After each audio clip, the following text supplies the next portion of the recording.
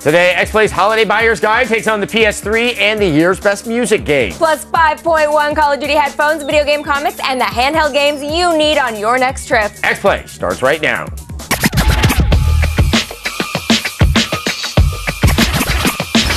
Hello and welcome to day three of X Play's Holiday Buyer's Guide. I'm Adam Sessler. And I'm Morgan Webb. Today will be the ghosts of Christmas future and show you everything that you need to buy. Coming up, we'll recommend some multi-platform games that everyone can enjoy, regardless of what side they picked in this brutal console war. Plus, Blair Herter gives some love to comics, as he is known to do, specifically comics for Disney Epic Mickey and Ratchet and Clank, as well as some comic book themed games. Then tie off that arm, tech junkies. We'll try out some new Call of Duty gear, a few controllers, and tell you if any of this stuff is worth more credit card debt. And if you're stuck on what music game to buy, climb down from the ledge. We have all the answers. Here's a sneak preview, not Power Gig. But first, what to buy on the PlayStation 3? Sony's fall lineup kind of imploded, so we can't tell you to check out games like Little Big Planet 2 or the new SOCOM. Those are next year. But we can point you in the direction of some fantastic games from the rest of 2010. They feature angry gods, roided up athletes, and a kid named Jason. Jason! Jason! God of War 3 is an eye gouging, heart stopping, skull stomping monster of a sequel. Everything that we loved about the gory epic series comes to a head in this satisfying payoff for the trilogy. The soothing sounds of Linda Hunt's narration, the monumental boss battle, and the sweet satisfaction of bloody revenge. My vengeance ends now. All the elements come together to create a near perfect sequel. New weapons and refined combat guarantee you'll be hooked from the opening scene to the closing credits. Heavy Rain is an interesting throwback to classic adventure games of yesteryear. Play as several characters who are trying to solve the mystery of a devious serial killer. The developers allow mundane sequences to breathe for a while, thereby setting the mood. Once you're lulled into the dreamlike atmosphere, you're thrown into shockingly sudden action set pieces. Give me what you got in the register. It's definitely not for everyone, but Heavy Rain is a noble, attention worthy attempt at creating a new genre. I know what you're feeling. Final Fantasy XIII may technically be available on the Xbox 360, but just think how jealous your PS3 would be if you knew you were cheating on it. Although the game has been criticized for being too linear, the legendary series still provides that unique Final Fantasy flavor. Plus, you'll have plenty of time during your holiday break to pour into this 50 hour plus game. But if bizarre Japanese RPGs aren't your thing, MLB The Show 10 may be the comforting slice of Americana you're looking for. This is one of the most realistic baseball experiences you can have without actually squeezing into ridiculously tight pants. The graphics and animation are stunningly detailed, and the online portion of the game can be as deep and rich as you could ever want. If you prefer to take a stroll down memory lane, there are two compilations you should stuff into your stocking. The Sly Collection is a PS3 reissue of all three Sly Cooper games. Ah, the famous Sly Cooper. These were some of our favorite platformers of last generation, and the third one is playable in true stereoscopic 3D. If you prefer your nostalgia a bit more bloody, God of War Collection packs in the first two games. The draw here is seeing the gory action remastered in high definition. The headings and dismemberment in true 720p, that's what the holiday season is all about. These days, it seems like the PSP is the Abe Vigoda of handhelds. It just won't die. Every time it seems like no one's making any new games, a great one drops into our laps. If Abe Vigoda managed to suddenly die after we tape this, we totally apologize for the awkwardness. Anyway, here's five great PSP games to take on the go. Don't think Metal Gear Solid Peace Walker is just some spin off side story. This is a full fledged entry in the series with the added bonus of four player co op. Play as Big Boss in 1970s Costa Rica and witness the creation of Outer Heaven, the setting for the original Metal Gear game. Kratos is back and is once again angry at Immortals. The gods lied to me! God of War Ghost of Sparta covers a previously untold chapter in Kratos' life, his conflict with his long lost brother. This gives you a glimpse of Kratos' tenure as God of War following the death of Ares. And of course, there's a lot more stabbing.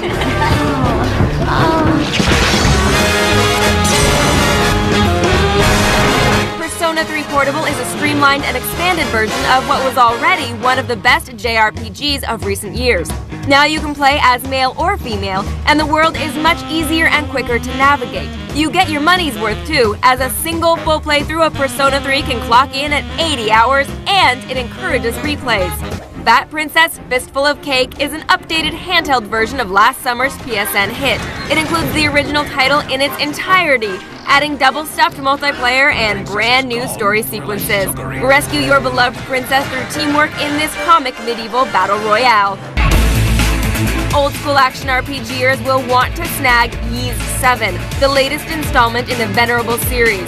Fast hack and slash combat and a huge sprawling world to explore make this a hard one to put down and perfect for bite-sized play sessions.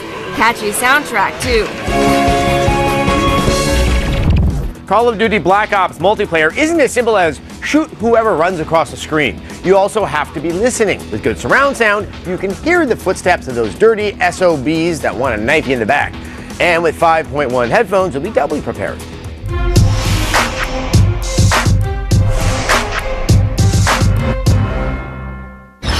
So this giant case It's pretty large. This is the true 5.1 Call of Duty Black Ops official headset right here. People are very into their headsets for good reason because it, it's so much more immersive if you have a good headset. It's a little difficult to set up, but once you do have it set up, then you're good to go. Even if it wasn't a Call of Duty Black Ops headset, it's a really good investment. This is a great um, set of headphones. If these speak to you, then go for it. There's a lot of other options out there though, and there are a lot of wireless options that are at a very similar price point. But wait, there's more. If you want to make those headphones wireless, the Astro Wireless Mix Amp here, $130 price point. Not only does it make any headset wireless, but this is pretty cool. They actually it can support up to 7.1 surround sound. It is a little pricey, but if you already have invested in a quality pair of wired headphones, this will change that straight into wireless headphones. Thank you for making it small and Yeah. not annoying or obnoxious looking for my living room. Thank you for sharing, Blair. You'll forgive my language here, but somebody's got to say this. Some video games are sluts. They're, going to show up on any platform they can, looking to wring out every last dollar from the consumer, despite the fact that they look janky and busted. But not the games I'm about to show you. No, my friends. These multi platform games are classy and respectable like. They won't let you down, and they won't steal your wallet where you're in the can. Fallout New Vegas is not just a reskin Fallout 3, it's a tremendous content packed follow up to Fallouts 1 and 2. Everywhere you look, there's something new to do and or kill, and you can spend hours doing tons of stuff and never actually advancing the main story at all. Jump into the Mojave Wasteland and kiss your free time goodbye. Platinum Games delivers one of the best action games ever with Bayonetta. Don't let this silly oversexed main character fool you. This game is tough as nails but never feels cheap and offers the most fluid and satisfying combat in any game this generation. It's dripping with original art design and creative set piece sequences. Throw in some high replay value and a recently lowered price point, and you have a definite winner.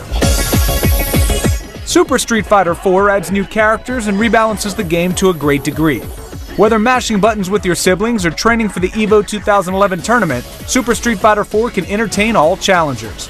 When the holiday parties are over, take the fight to the internet with incredibly smooth online play for some serious competition.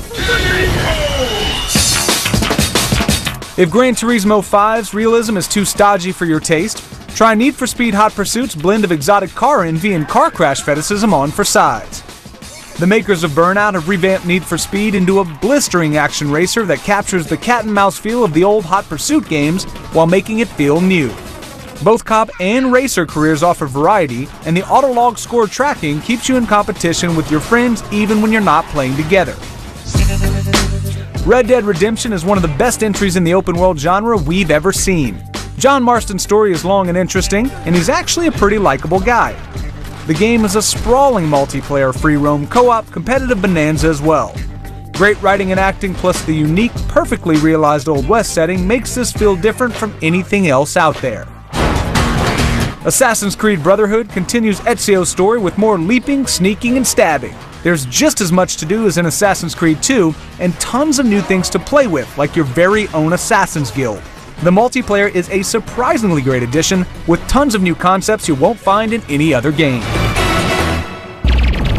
When X Play Holiday Buyer's Guide continues, Blair talks Ratchet and Clank comics, Scott Pilgrim games, and Peter Parker. These video game comic book crossovers are definitely worth a look. Plus, we'll help you empty your PlayStation wallet. In today's X List, we'll recommend five great games to download on the PlayStation Network. Then a special edition of Tech Junkie that'll help you figure out which PS3 controllers are worth a buy. And later, we'll help you with a make or break shopping decision. Which music game is worth your hard earned cash? All that and more right after this.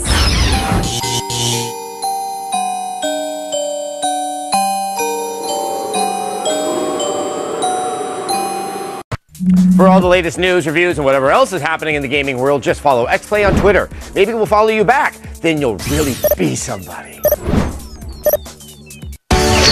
XPlay is coming to the tailgate tour at a city near you. Check g4tv.com slash XPlay tour for even more tour dates.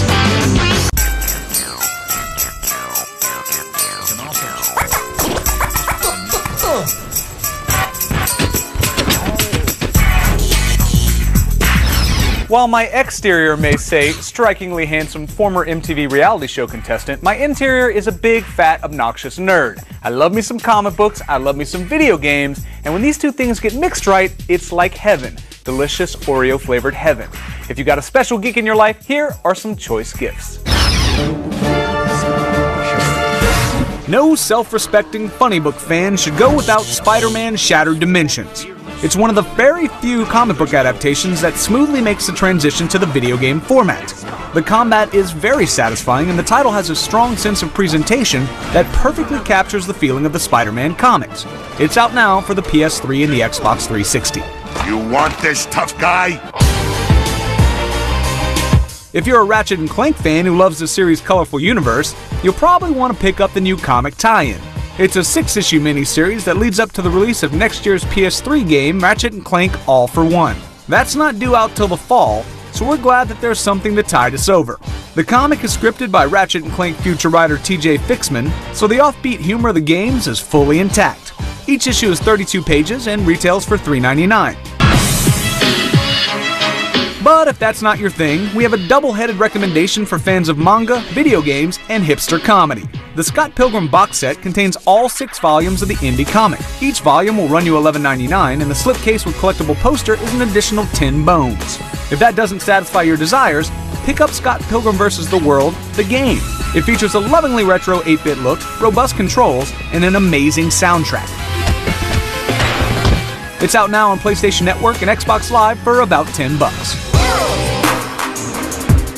Fans of Disney nostalgia will freak out over Epic Mickey for the Wii. This game was developed by the legendary designer Warren Spector, and it's probably the best thing coming out for the system this holiday season. We're also recommending the Disney Epic Mickey Digi Comics. This is available as an app for the iPad, iPhone, and iPod Touch. Inside, there are six 8 page comics in total. The first one is free, and the rest of the bundle costs only $2.99. Enjoy. The PlayStation 3 might be lacking in disc based games this holiday season, but there's plenty to buy online. We're counting down our top five PlayStation Network games in today's X list.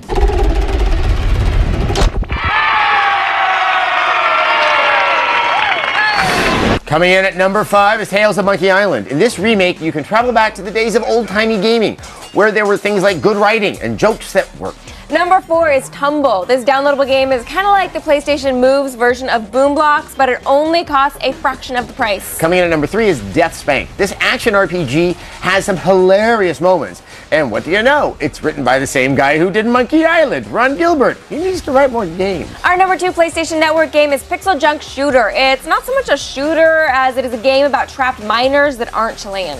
But our number one pick is Joe Danger. It's like Trials HD mixed with Excitebike, but without the F-bomb levels of frustration.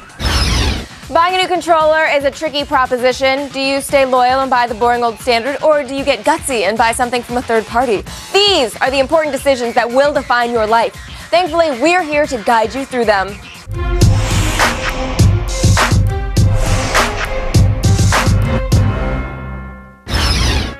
All right, guys, for all of you PS3 owners out there, we have three interesting controllers to check out.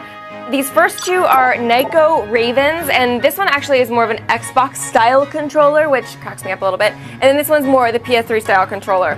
So you can see on the Xbox controller that the analog sticks are actually offset like a more traditional Xbox controller. I know a lot of people complain about the analog sticks on the PlayStation. They'll say like, I don't want to play a shooter on the PlayStation because of the analog sticks. Well, now they can stop complaining. This is obviously the more traditional PS3 controller. Uh, I like the uh, the triggers here. I don't know why they, they're they're grippy as well. No, it feels sturdier. It feels like I'm accomplishing something more. Like when I'm shooting something in the face now, it feels better. A lot of the complaints I think of the, with the PlayStation controls, although they were light, they felt really cheap, and you could break it at a moment's notice. I don't think you're going to be able to break these. Like this is a really solid, well-made controller. Now this is a Call of Duty controller. It's pretty intense looking. Mm-hmm. It is. It's got a lot going on. We have some uh, extra buttons on the back so that you can leave your thumbs on the analog sticks as much as possible, and you have just a little bit of extra, you know, like, you know, this wasted fingers back here that now you're going to be able to yeah. use. Yeah, I mean, you can actually um, kind of like uh, custom button mapping on these things, which is pretty neat. One of the things that we did have a problem with though is these triggers right here, you can tell that there's not a lot of surface area and they're kind of sticky. This lights up. Uh, which is cool. On the whole, I guess it's a pretty, pretty, pretty neat controller. If you're inspired by this, maybe you should go and try it at a store. But in general, I don't know if I would run out and buy this particular one as a gift. There you have it. Coming up, we're going to help you avoid one of the biggest landmines around and tell you what music games are worth buying. Trust me, you don't want to be stuck with a $200 turd. Actually, that'd be kind of awesome to sell on eBay. Plus, our slightly deranged staff recommends you some personal favorites. X-Play Holiday Buyer's Guide continues right after this.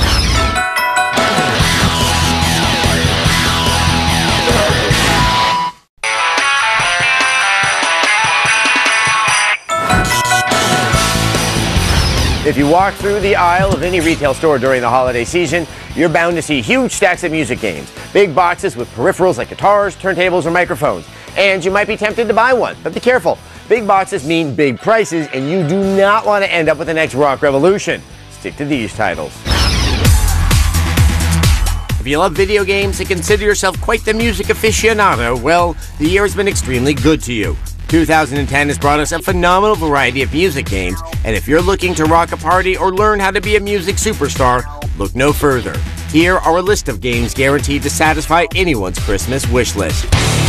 First up is the king of all music games, Rock Band 3. With over 2,000 songs to play with, some new instruments to jam on, and the ability to actually teach you how to play music, this game is a must buy for anyone, especially if you're an aspiring musician. Now, if you prefer your music to air on the side of shred heavy riffs, don't worry, Guitar Hero 6 has got you covered.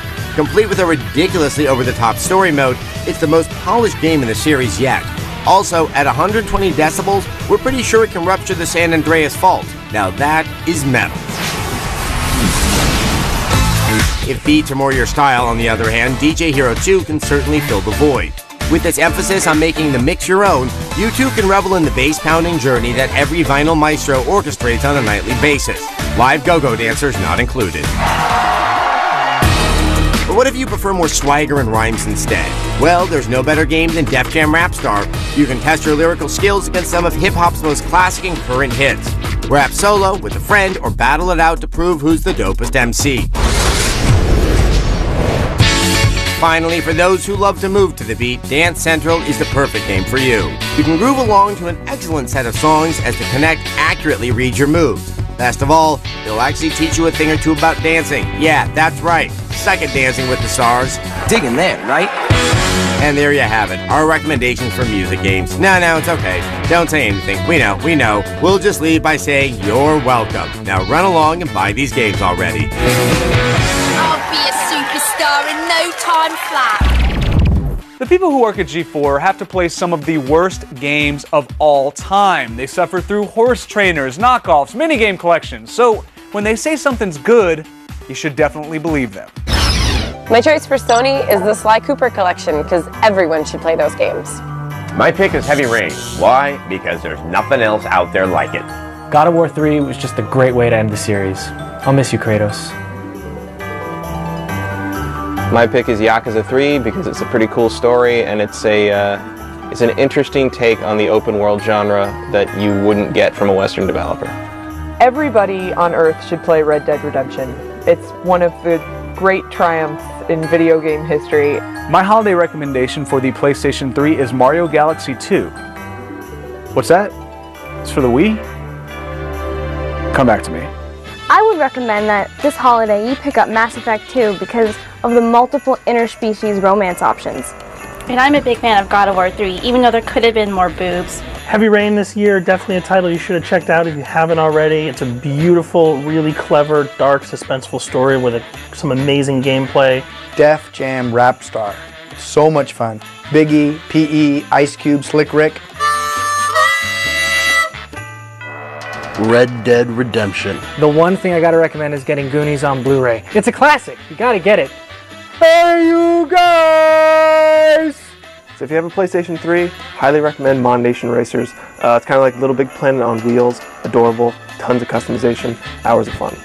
If you're tired of being a solitary assassin, you can now recruit your own guild of assassins and make them do your dirty work for you in Assassin's Creed Brotherhood.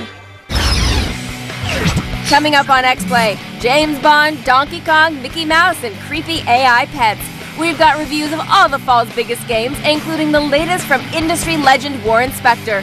Find out if the long-awaited Disney epic Mickey delivers the goods. Plus a 007 double feature. We've got brutally honest reviews of Bloodstone and the Wii remake of GoldenEye. Then we'll risk making fools of ourselves and interact with some virtual pets.